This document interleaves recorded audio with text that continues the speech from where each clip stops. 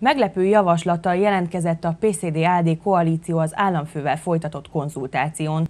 Liviu Dragne a PCD elnök és az AD társelnökei, Szévil Sájde közgazdászt, Dragne a közeli munkatársát jelölték a kormányfői tisztségre.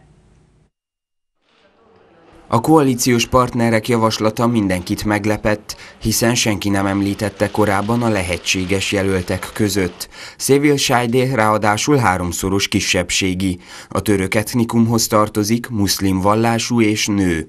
Ugyanakkor Drágnia bár nyíltan nem mondta ki, de egyértelműen utalt rá, hogy olyan jelöltet javasolt, akit irányítani tud, miután szerintem neki járt volna a tisztség, mint a választásokon győztes párt elnökének. O condamnare nedreaptă egy igazságtalan ítélet és egy mélységesen alkotmányellenes törvény megakadályozza, hogy magamnak kérjem ezt a tisztséget. Egyelőre legalábbis. Ugyanakkor nem is tudom elhárítani azt az óriási felelősséget, amely a vállamra nehezedik, és amelyet egy masszív szavazatokkal való támogatás helyezett rá. A felelősség ezért elsősorban az enyém. Uh, masszív?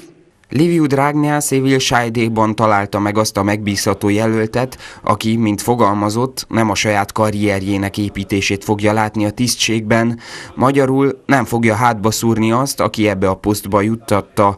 A PCD elnöke jól és régóta ismeri a konstancai származású Sájdét.